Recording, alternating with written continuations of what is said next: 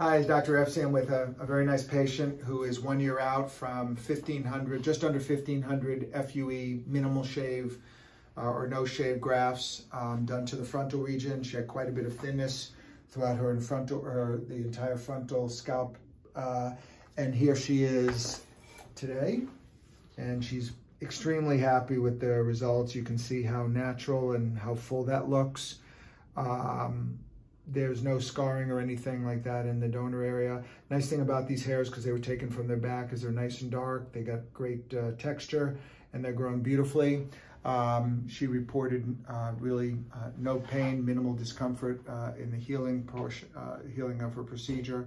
Plan is at some point down the road, do a little bit more filling in uh, to give her a bit more density in that mid-scalp region. Anyway, this is Dr. Epstein with a patient one year out from just under 1,500 grafts, female patient. Thank you.